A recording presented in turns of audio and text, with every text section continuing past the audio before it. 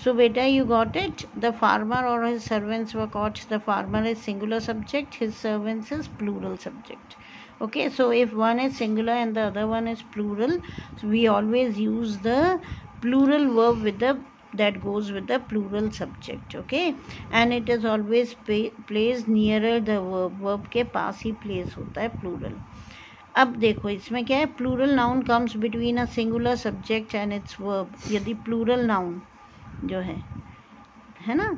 वो singular subject और verb के बीच में आता है। तो the verb is often wrongly made to agree with the nearest plural noun we should guard against such an error and से अब देखो, कई बार क्या होता है, जब प्लूरल नाउन जो है सिंगुलर सब्जेक्ट और उसके वर्ब में आता है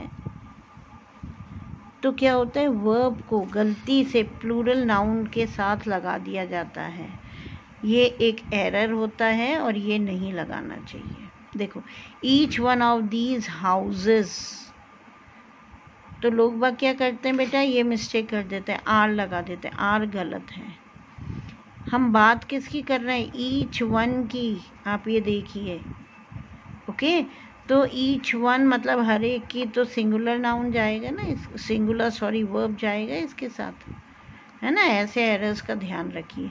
A combination of colours charms the I got it अब बात हो रही है कलर्स की, नहीं हो रही है कॉम्बिनेशन की हो रही है, जो सिंगुलर है तो उसके साथ सिंगुलर जाएगा।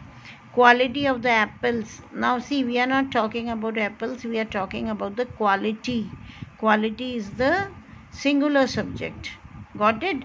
So, the verb will also be singular. It will not be were now, see the last one. When the subjects joined by or or nor are of different persons, the verb agrees with the subjects nearest to it. अब जब subject हम और या nor से join करते हैं, ठीक है?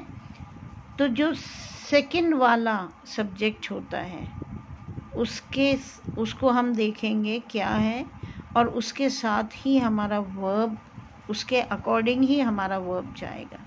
जैसे आइदर ही और आए तो फ़र्स्ट वाले सब्जेक्ट को देखा आपने सेकंड वाले को देखा, लेकिन वर्ब किसके अकॉर्डिंग जाएगा बेटा? सेकंड के according I am okay either you और ही अब यू के अकॉर्डिंग वर्ब नहीं जाएगा सेकंड के अकॉर्डिंग ही के अकॉर्डिंग जाएगा right neither my friend nor I am right getting